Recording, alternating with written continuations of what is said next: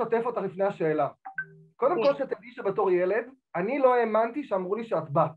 זאת אומרת, אימא שלי והאחים שלי, אחי הגדול יותר, אני זוכר, הוא אמר, היא בת, ואני כזה, לא, היא בן, לא יכול להיות, מדברים אליה בזכר, היא עונה בזכר, היא נראית כמו בן, היא קצת נשמעת כמו בן, זה ילדים. אה, לא האמנתי נכון. שאת... תגידי, יצא שאת פעם דיברת על עצמך בלשון נקבה מתוך הרגל, או שספי, או ששלמה ניצן, זאת אומרת, דודלי, מישהו פנה אלייך בזכר, או שתמיד... לא, אה, כי, כי בגלל שהבגדים שלי היו מאוד אדוקים ולוחצים ולא יכולתי לנשום, אז לא יכולתי לשכוח שאני בתפקיד של בן. ו... מה אה, תסבירי, מה זאת אומרת לוחצים ואדוקים? שמו שם איזה מכוך או משהו? אה, בשביל לעשות אותי בן, אז שמו לי מכוך כזה מברזנט מאוד חזק, ומשכו אותו, והידקו לי את הנשימה, ועל זה שמו עוד אה, מין overall אה, טייץ כזה, ועל זה אוברול ג'ינס, ככה שהם מעכו אותי. אז אה, לא יכולתי לשכוח שאני בן במצב כזה.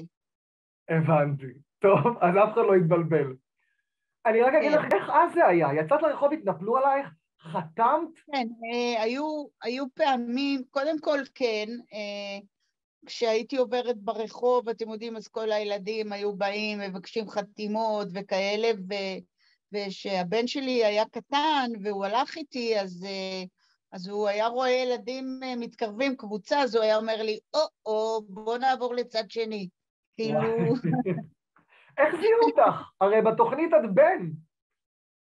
נכון, אתם יודעים שקרה לי קטע, בגלל שלא רציתי. לאכזב את הילדים, כי כמו שאמרת, אה, היו אימהות שאמרו לילדים שלהם, רגע זה בת, והילדים היו בוכים ואומרים, לא נכון, זה בן, זה בן, בדיוק, זה זה בן." בת, זה בן, זה בת, זה בן. אז שנים לא לבשתי שמלות, כדי שלא, כאילו באיזשהו מקום לאכזב את הילדים. וואו. אז אה, כן, עד שיום אחד חנן גולדבלט אמר לי, ציפי, את ציפי, ורגע זה רגע, זה דמות. תעזבי את השטויות האלה, זה נכנס לי מאוד uh, בראש, מאוד uh, היה חשוב לי שהילדים ירגישו אמינות.